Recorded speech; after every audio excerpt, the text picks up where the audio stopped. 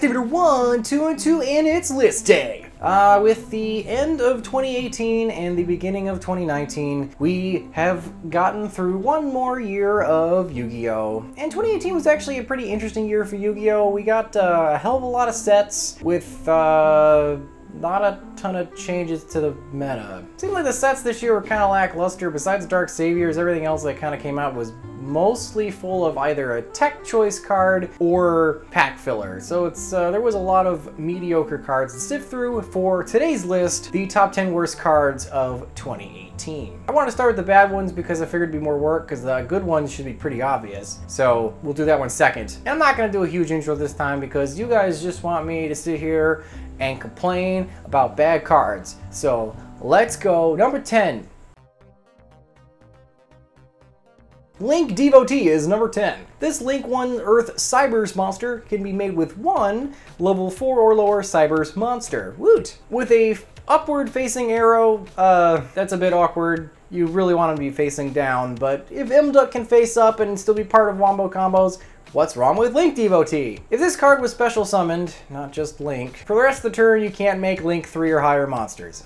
Why? This is a low link level monster, which would imply that it is supposed to be for link climbing, especially because its arrow points up, which isn't helping you very much making extra link plays. So you're gonna have to be making your extra link board with nothing but link 2 or lowers, which is doable, I suppose, but um, that's a that's a very strange restriction. And it's probably because its effect is actually not so bad. If this card is tributed, you can summon two Link tokens to the field. They're level 1 normals. Light, Cyber, 0, 0. You can only use Link Devotee's effect once per turn. Per turn? Yes, this is probably why it's preventing you from going to Link 3 and 4s because it's a free plus one maneuver to summon two tokens if the thing is tributed. Now, I'm not sure how Link, uh, not Link, Cyberse monsters work. Uh, I'm assuming they have some sort of in-theme way of tributing this thing. Otherwise, its activating condition's a little awkward, but we're gonna go under the assumption that they have some means of doing it that's not Linkuriboh because he doesn't work on Link monsters and that you'd actually be able to get these two Link tokens in order to continue your board. It's a darn shame that you can't make Link 3 or higher, however, uh, you could extra link with nothing but link 2s if you have Proxy Dragon, two Nightmares, Linkuriboh, and uh, Link Spider. I did it! So presumably there might be still a way to do it, even though that board isn't going to be super strong. So, okay, fine, cool. It's certainly not the best thing in the world. Number 9 is Trading Places. Uh, like I said, there was a lot of really weird and bad obscure cards this year, so a lot had to get knocked off the list in order to make room for the ones that were really bad. So if your favorite bad cards are on here, I uh, trust me, this was difficult enough to make it just 10. But anyway, what, what does this silly thing do? Trading Places is a quick play spell. Nice that has the following effect. If your life points are higher than your opponent's life points, switch your life points. Uh, very, very, very, very rarely would you ever want to be in an advantageous position with having more life points and then give your opponent all of those and suck up their lower life points. That's normally flying in the face of your win condition, which is to reduce your opponent's life points to zero. However, being a quick play spell card makes me think that maybe this would find a home in something like a Nurse Burn deck where you're trying to get that life equalizer to work. So you, if you're trying, guess, went south because your opponent is only playing Link monsters, so you had to call Fusion and you got a bunch of life, which doesn't really help you win, so now you're gonna flip it and then try, I don't know. It seems like a lot of hooey in order to get life equalizer to work, and this basically, at best, is only relegating itself to being a card to help stop the bad case scenarios of your deck. And you don't really want to deck build assuming something is going wrong. Normally that's actually kind of clumsy deck building. Normally you want to assume your deck is working, and if it doesn't, figure out why, not try to put things in it to like well, if my deck is bad, then I'll do this instead. No, that, that's that's just clutterous, and it'll be a dead card most of the time if your deck's actually winning. You don't want your own cards to be in the way of you winning if you're already winning by just being dead. So it's an awkward weirdo card, and its uses is probably very niche, so it's just bad. Gabrion the Time, Gab, Time, Gab, Gabri, Gab, Gabrielle, Xena's sidekick, the Time Lord. Time Lords are actually probably some of the best monsters that we have in this game to just normal summon into a big board and break it in some way with we, uh, with what? Meta, meta, meta ion, meta, meta ion, metion? I don't, I don't know. Or Zaphion. Uh, bounces all the monsters on the field. Zaphion spins all of the spell and traps your opponent's got. So, oh yeah, you can break some boards with these bad boys. As level 10 fairies, obviously they're going to be a little harder to summon, although they all have the same effect that if you don't control any monsters, you can normal summon them without tribute. So that's nifty. Uh, basically, it's a uh, that's all I'm going to do this turn. I'm going to blow a normal summon on it, but I get to send or uh, summon my big, dumb Zero zero level 10 beater to the field for freezies. And they all also have the same thing where they can't be killed by card effects or battle. So you're going to be able to enter a battle phase with them most likely and attack, because that's how they get their effects off. Because if they battle, and you, you don't take any battle damage with battles involving them, but if they battle at the end of that battle phase, you get to do something. If it's Zaphion, you bounce the spell and traps. If it's Menon, you bounce all the monsters. And then they also have some other individual, but all we care about is the board wiping ability. What does Gabrielle do? Gabrielle spins every card your opponent controls as much as possible to the deck. Holy crap, this card's broke. And then for every card your opponent shuffled into the main deck, they draw a card. Ugh, it's terrible. Obviously, the niche application of this terrible card would be that, oh, my opponent has extra linked me with nothing but extra deck monsters, so now I'm going to punch into that, because they'll all go into the extra deck and they won't get to draw anything, and it'll be a pure straight minus for them. However, you're probably better off having Metaion on your deck instead because he'll put them all back in the extra deck just the same, and he'll also affect the monsters that are main deck monsters that happen to be on the field as well, and your opponent won't get free draws because of them. Ah, see, that's the problem there they're digging through their deck, and if you bounced like a, a, deck that had nothing but main deck monsters on the board, you stuck them all in their deck, and then they're going to draw a bunch, you've already blew your normal summon this turn, you're probably not going to have a very stellar main phase 2 after this, so your opponent now may have an empty board, but you really have no means of utilizing that and pushing for game because they get a free turn after this, and you just refreshed their hand, so they may now have dug for a bunch of hand traps that are going to try to make your main phase 2 even worse. So it's very rarely going to actually net you any pure advantage, and most of the time Zaphion or Metaion probably would have been the better play. So he's not as awful as he is just uh, kind of useless uh, when compared to the other monsters in his own archetype. Vortic... Vortic... Why are these cards impossible? Vorticule Gum... Vortic... Vertical Dumb Dragon. Vort Vorticular Drumgon. Drumgon? Drumgon, that's a very forced pun. Is a Link 3 monster with the following effect. He can only be made by three Dark Dragon types. Ugh, that's really specific. And if this card is special summoned, draw one card. Wow, it's not even Link summon, meaning if you, like, lunked, lunked it, lunked it, lunked it, linked it away and, and summoned it back with Monster Reborn or Soul Charge, you get that draw again.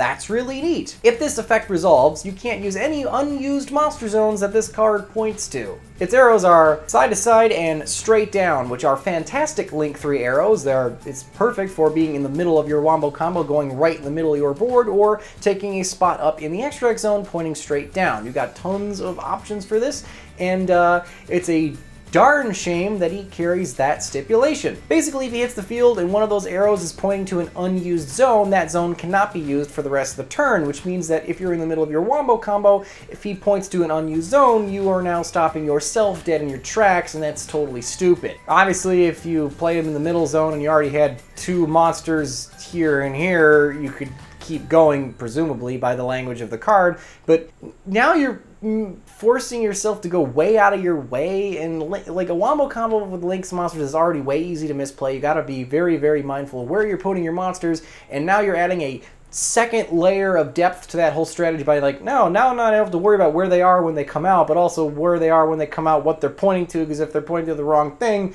then I can't make any more plays, and I'm stuck with this dumb dragon in attack mode with, what, what is he at even? He has a thousand attack power, holy crap, that's terrible. Basically, he just makes it a giant pain in the ass to use, even though you get that free draw, which is obviously there to help mitigate the loss of card advantage that is to make a Link 3 monster. It's a darn shame, too, because you might have actually been pretty good otherwise. And obviously being very specific in what you can use to make him. Uh, I'm not even sure we have a link to monster that meets this requirement. And it also says three. It's not two plus, it's three, meaning you have to make this with three monsters. That's, that's real,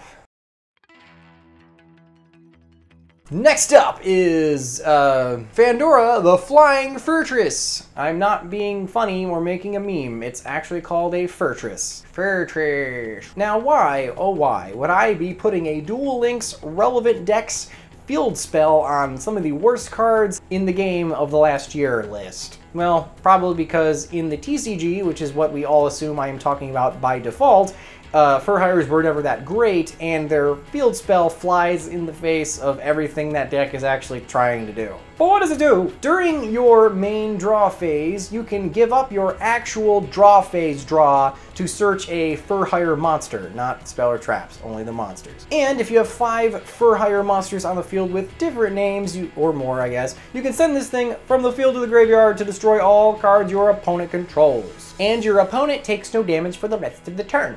On the surface, this card actually sounds alright. It's a search card, so it's a rota for the deck, as well as a uh, an in-theme Dark Hole and a, and a Heavy Storm. That's broken. So why is it bad? Well, number one, if your searcher goes next turn, that's uh, that's not good. That's really slow. You don't want your you want it like diagram or spiral resort where it hits the field, you, you activate its effect, and you get something. Even Kaiju's silly field spell can search the turn it's played as long as you've accrued some counters. So a good designed field, goodly, well-designed field spell should, if it's going to search, should either search upon play or search like as a destruction thing to, to, to ward off your opponent's destruction effects, like Cosmotown. So therefore, holy crap, this thing is very slow. It's not getting you to anything fast. Not only that, but it uses up your draw phase, so you're really kind of not actually getting any advantage this turn. You're just trading one card that you would have been a rando card for one that you almost definitely need. So it's not any real advantage. That's unless you consider by default every main phase or draw phase draw a plus one. I guess it is, but it's a little, you know what I mean? It's not extra advantage. It's not play the card, get a card. It's, you know what I mean? So, because you're not Mm, I'm getting ahead of myself. But not only that, if you've managed to get five monsters on board of different names, which let's be real, in any kind of deck, any worth its salt, having five individual monsters on board is already a task. Because half the time, there's not even five good monsters in your archetype that's even worth playing. It's like three, you play three copies of any two, and then the rest of the deck's another engine or something, because that's how archetypes are built. Every monster's bad except like three of them. So no, you've managed to get five different ones on board, which is already a pain in the butt. But with Fur Hire, that's not so bad. They daisy chain and things like that. So let's just assume best case scenario, you're the best Fur Hire player in the world, and you got five different Fur Hire monsters on board. You can now nuke your opponent's board. Yes! And that's all you can do this turn. Yeah, your opponent takes no damage for the rest of the turn. You have five monsters on board. You probably could have OTK'd. You probably had game. You could have pushed through their one or two guys they had because you're in a supremely winning position. There's no way you made all that and they have any kind of board whatsoever. And you just shot yourself in the foot because now you can't swing for game. The whole point of the deck. It's an OTK strat. It's bad card design, and its name is stupid. It flies in the face of what you're trying to do.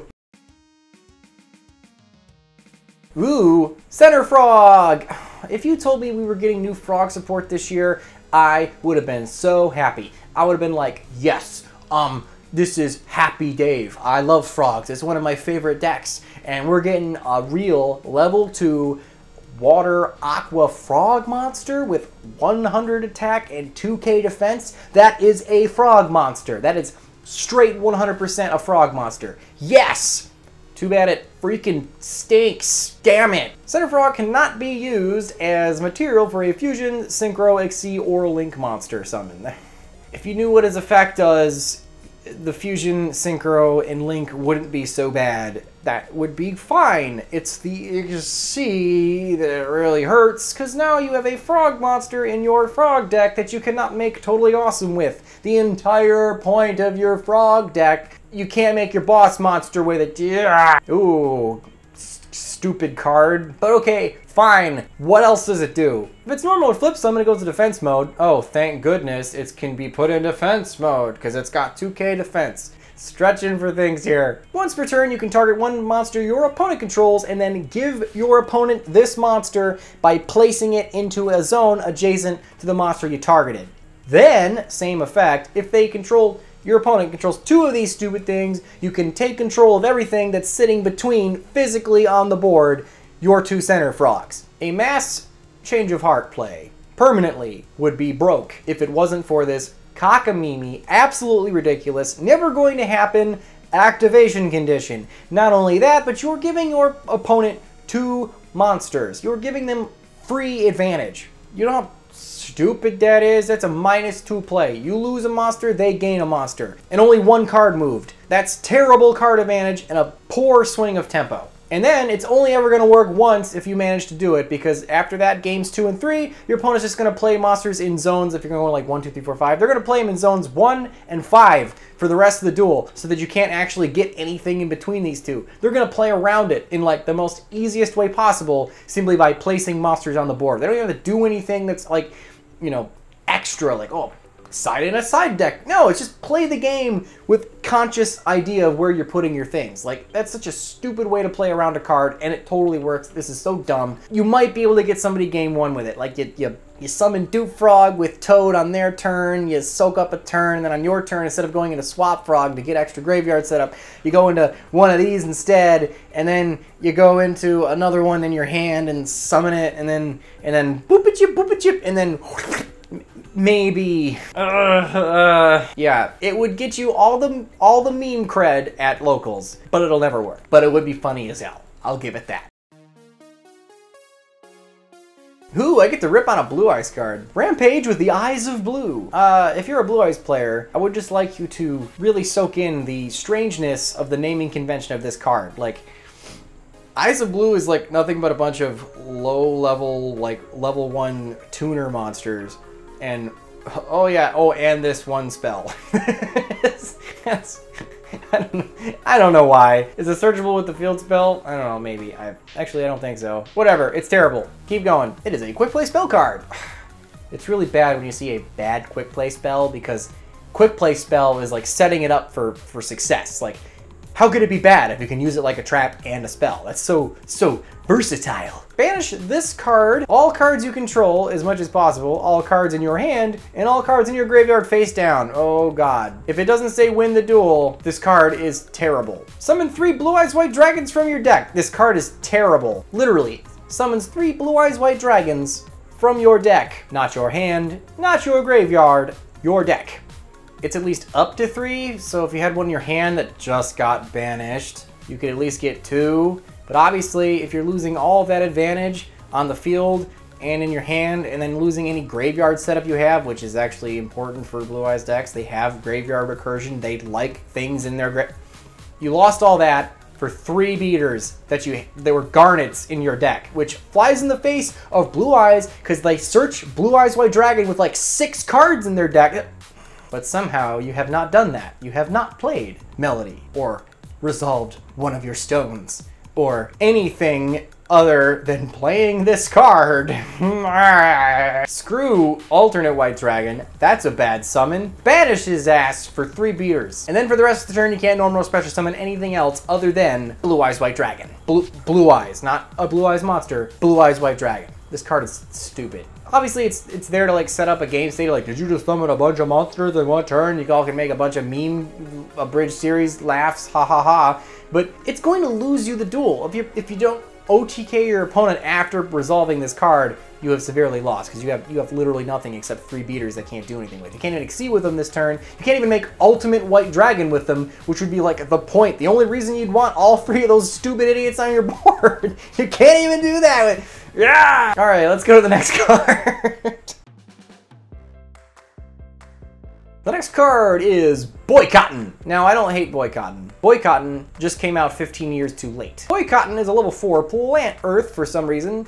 I get that it's cotton, so plant, but it depicts a sheep. A sheep. So it's not really cotton, it's wool, and it should be a beast. but whatever. You take any battle damage your opponent would have taken by battle from this card. So if you attack their life points directly or they crashed into it uh, and lost some life points, you take that instead. It has 2500 defense, which is super high for a level 4, so that's obviously why it has that stipulation, but okay, cool, it's a wall. Uh, except for the fact that if your opponent took battle damage from this card's battle this turn, it is then returned to your hand. Not at the end of the battle phase, so it can sit there and soak up a few attacks or whatever and, and waste time and be a wall. Nope, it's as soon as that happens. Whoop! If you had skill drain, I guess it would be fine. But this is totally dumb. It flies in the face of exactly what the card's supposed to do. I'm perfectly fine with my opponent not taking battle damage from crashing into this thing that was like face down in defense position. It's supposed to be a bad but huge wall. You know what this this is like this is so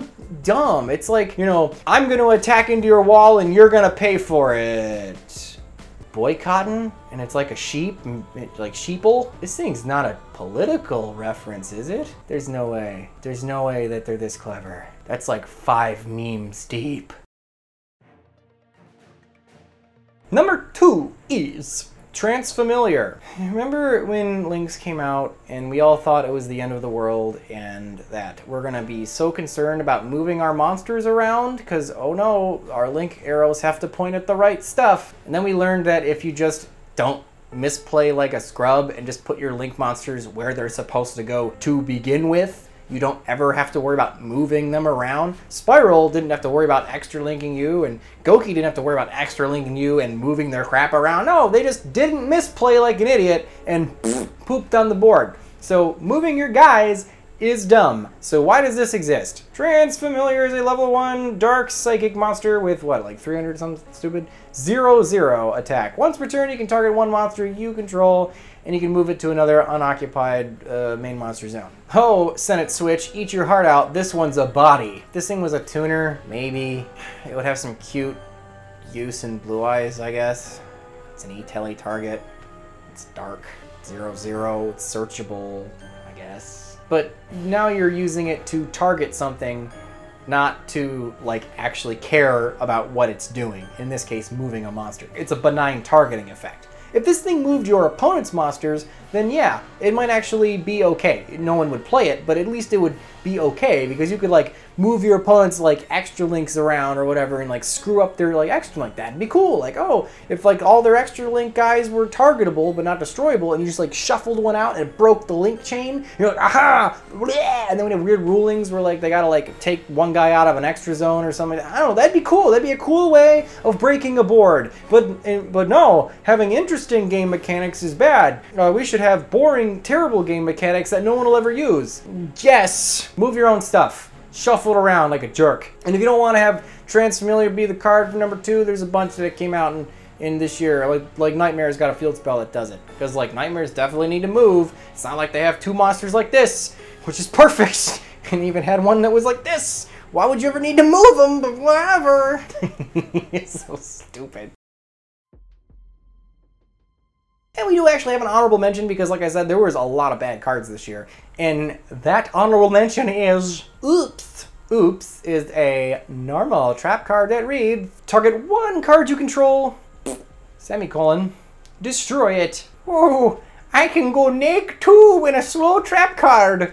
Yes! Why is this not on the list? It's awful. But there are some monsters and other things in this game that when they are killed, but specifically destroyed, they do things. So you may want to self-destruct one of your own guys with this trap card. It doesn't do anything after the destruction. It's literally destroy it, period. So things may or may not miss timing afterwards, so that's a plus. Like you could blow up your Dupe Frog, and that's good. Oh, it's even a trap card, so you could chain a Paleo to it, and then destroy your Dupe Frog, and your Dupe Frog will miss timing. And it's terrible. But yeah, you could you there is a perceived function of it. It's just bad, and you wouldn't do it, but it's bad, and it's bad, but it exists, which is a lot more to be said than a lot of the ones on the list. So it's an honorable mention. Grunix. You can blow up your Grunix. And before we get to number one, as always, it is sponsor time, and our sponsor is MetaMats. Would you believe I had a really cool, like, exclusive, like, test print of a Dark Magician Girl mat, and I forgot it at my house? up in Rochester, otherwise I'd show you guys. But whatever, if you guys want to see MetaMats make Dakimakura body pillows, leave that comment down below. I'm trying to goad him into doing it. I'm like, come on, Dave, do it. Make body pillows. It'll be funny. Help me out, guys. But anyway, let's get to number one. Number one is Scramble Egg. Could it have been anything else? Scramble Egg is a normal trap card that reads, if a monster you control is destroyed by a battle or a card effect and sent to the graveyard, special summon one Sonic Chick from your hand, deck, or graveyard. It's not once per turn. Now, you might say, okay, it's a trap card, Dave. It's slow. And its activation condition is specific. One of your guys needs to get destroyed and sent to the graveyard. Those go in hand in hand most of the time, but still, specific activation condition. Okay, it's certainly not a great card, but why is it so bad? Well, number one, Sonic Chick is stupid. What does it do? Uh, it can't be killed by monsters with like 1900 or more attack. It's a level 1 Wing Beast from the Synchro era, one of Yusei's cards, and somehow it's not a tuner. Why isn't it a tuner? It's level 1 and it's in Yusei's deck. It should be a tuner. If it was a tuner, then Scramble Egg would actually be alright. I mean, you don't care about Sonic Chick for what it does, just for what it is, but at least it's a tuner, right? And it's one from the deck. Woot! No, it, it's just a, got a crappy battle immunity. But alright, fine. It's a free body. It's a level 1. You can make Linkuriboh with it. Linkuriboh with it which is funny because Linkuriboh's probably got a better battle immunity. no, what really, really makes Scramble Egg go over the edge is the context in which it came out. When, like I said before, when uh, Links were first announced, we all thought it was the end of the world. They were going to destroy our Yugi-Mans. We are going to have to play with weird columns. It's all going to be annoying. We're going to have to move our stuff around. It's going to be really slow. Ugh. Turns out, like, none of that's true, but whatever. And then they were like, don't worry, child, for this is the Link Vrains pack. All your favorite decks will have unique Link monsters with broken effects like Cherubini and Needle Fiber. And you do not have to worry about your scrub tier deck getting completely gate kept out of the game by not having a blue monster, because they all have a blue monster. And then we're like, wow, are we going to get this in their own pack? Are we going to get the Link Vrains pack too? And Konami's like, no, child, no. We will just put them in the export slots of main sets. They'll be even decently okay to pull. And we're like, yeah! And then like the first one we get was like all of the slots were Link Vrains monsters except one for some reason. It was Scramble Egg. I I don't know why. Apparently, this was an import. We hadn't had it in years. I didn't even know that it existed but we just had to have it as opposed to like Jasmine or Linkuriboh or Cherubini, Linkuriboh, not Linkuriboh, uh, Needle Fiber, you know what I mean. All these really good, impactful Link 2 monsters we could have had, or some even the ones we eventually got, like the Extra Hero and things like, nope, uh, no, Scrambled, scrambled Egg. Why wasn't this like pack filler in like an OTS pack or a, one of those extra packs we get like between mains, like anything else? Stupid card. But anyway, guys, that is the list. I hope you enjoyed it as much as I hated it, because these... I don't even play half these decks, so these are frustrating. But in the comments below what you guys think. And remember, guys, if you want a MetaMats body pillow, let me know in the comments below. remember, guys, control the meta will. I will see you guys next time. Whatcha? Well, looks like they made it through the video. But you'd still be a slacker if you didn't subscribe up there. Maybe you should check out one of these other videos. Maybe then you'd actually be a decent opponent for me.